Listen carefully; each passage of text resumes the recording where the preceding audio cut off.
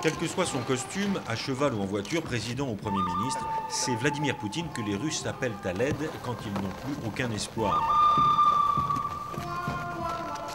Ici, Vladimir Poutine vient sauver la petite ville de Pikaliov que les patrons d'usine ont abandonnée. La crise économique a mis l'industrie de l'aluminium à genoux, des milliers d'ouvriers sont au chômage et devant les caméras de la télévision locale, ils prennent à partie les élus.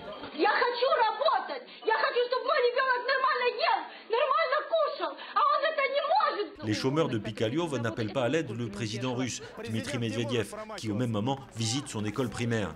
Ils appellent à l'aide Vladimir Poutine. In the perception of uh, uh, the Russian people as well as the Russian elites, um, it is uh, no longer a question of who's boss. Uh, Putin, of course, is number one, and Medvedev, likable or not, I think generally likable, is number two. Vladimir Poutine est au pouvoir depuis 10 ans et il n'est pas là pour parler de sa gestion de l'économie russe. À ses yeux, les vrais responsables du marasme sont les industriels. Считаю, что вы сделали заложниками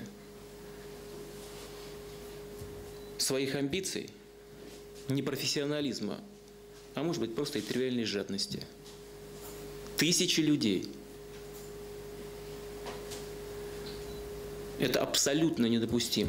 Face aux fonctionnaires et aux élus, l'oligarque Alec Deripaska est désigné comme le plus mauvais élève. L'ancien roi de l'aluminium n'a pas signé les bons de commande pour relancer son usine.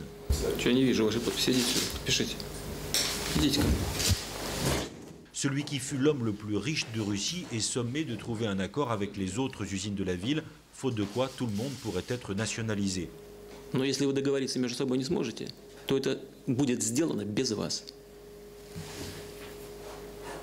Спасибо. Успехов вам. La réunion est terminée, Vladimir Poutine annonce que les usines vont rouvrir et il est acclamé par les habitants de Pikaliov.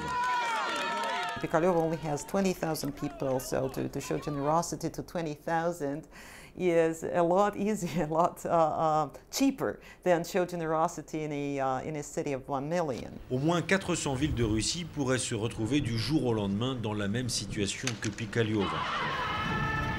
Vladimir Poutine risque fort d'avoir à sauver d'autres villes en perdition.